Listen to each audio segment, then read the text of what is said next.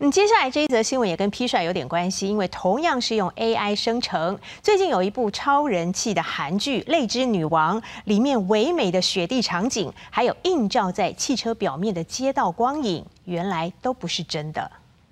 《《内之女王》这部热门韩剧翻转爱情童话，描述由金秀贤所饰演拥有高学历的白贤佑娶了豪门公主后，两人经历格格不入的婚姻低潮，后来打开心结重修旧好的故事。剧中金秀贤演技收放自如。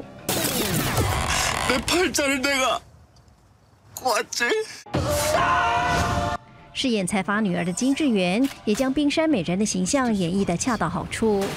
不过，女主角这场在雪地逃亡的戏码，不说你看不出来，其实场景是假的，因为当时并没有下雪。制作单位一度考虑到国外取景，后来他们找上虚拟工作室，决定利用生成式 AI 制造树林飘白雪的景象。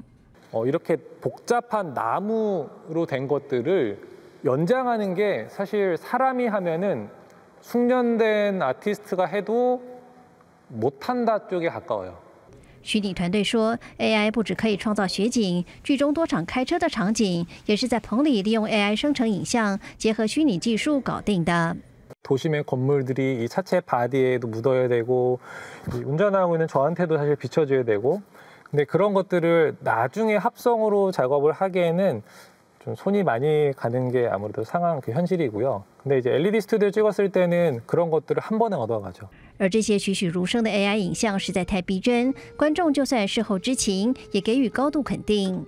看不出来它是它是人工智慧，然后还有它的它的那个雪，它的那个雪就也是很真实。すごい今の映像技術にすごく驚き驚きです。もう本当にリアルでした。 《 雷之女王》日前播出完结篇，收视率成功超越《爱的迫降》，再创高峰。或许 AI 科技的助阵也功不可没。国视新闻的会敏编译。